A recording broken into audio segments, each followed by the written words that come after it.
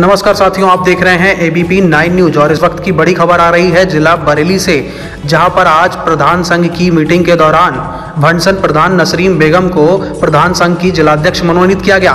बरेली बिथरी राष्ट्रीय पंचायती राज ग्राम प्रधान संगठन के प्रदेश अध्यक्ष सुरेश कुमार शर्मा, कार्यकारी प्रदेश अध्यक्ष कौशल किशोर पांडे ने संगठन के प्रदेश महासचिव अजीत कुमार सिंह की संतुति में जनपद बरेली का जिला अध्यक्ष ग्राम पंचायत भंडसर की नवनिर्वाचित प्रधान नसरीन बेगम, पत्नी मोहम्मद इरफान उर्फ़ नन्ने को मनोनीत किया गया।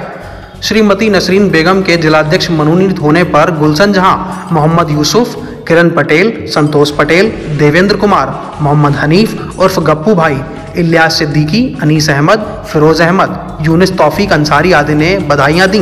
इसके साथ ही बरेली के जिला अध्यक्ष पति मोहम्मद इरफान उर्फ़ नन्ने ने अपने पूरे गाँव को सैनिटाइज कराया। साथ ही मलेरिया की दवाइयों का छिड़काव भी किया। अपने ग्राम पंचायत के सभी लोगों को जागरूक किया कि बिना किसी काम के घर के बाहर ना जाएँ और लॉकडाउन का पूरी तरीके से पालन करें। उन्होंने बताया कि सरकार जिस तरीके से कोरोना से लड़ने के लिए अनेक उपाय कर रही है, उसके साथ ही हमें भी अपनी ज़िम्मेदारी समझनी चाहिए और सरकार की गाइडलाइन का पालन करना चाहिए, जिससे बरेली में कोरोना के केस कम हो सकें। आइए जानेंगे क्या कुछ कहा राष्ट्रीय पंचायती राज ग्राम प्रधान संगठन के जिलाध्यक्ष ने।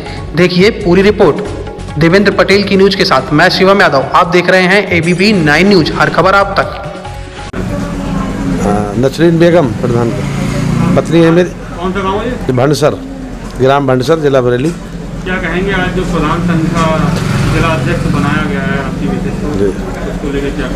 और जो हमारे संगठन के अध्यक्ष हैं उनके बहुत बड़े आभारी हैं हम। हमारी विशेष को उन्होंने बनाया है और पूरी निष्ठा से ईमानदारी से काम करेंगे। पूरे ज़िले के प्रधानों को समस्या होगी उनकी समस्या का हल कराएँगे पूरा सहयोग देंगे। कोरोना काल चल रहा है गाँव में साफ़ सफ़ाई को लेकर क्या व्यवस्था हमने पूरी साफ़ सफ़ाई कराई है पूरे गाँव में दवाई की छिड़काव कराया है और सैनिटाइजर कराया है पूरी हमारे गाँव में जो है पूरी साफ़ सफ़ाई चल रही है। और चार छः लोग सफ़ाई पे लगे हुए हैं मच्छर की भी दवा छिड़कवाई गाँव में कोरोना की दवा छिड़कवाई है। पूरी साफ-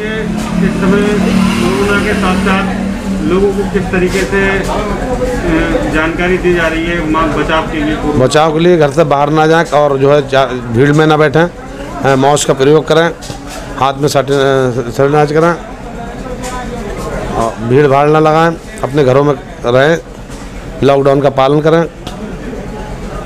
संगठन के लेकर क्या दायित्व दिए गए हैं और क्या कहना है? संगठन के लिए अभी हमारी मीटिंग होने को है, क्योंकि अभी कोरोना चल रहा है, कोई शपथ नहीं मिल पाई है, इसलिए संगठन की भी मीटिंग नहीं हो पाई है।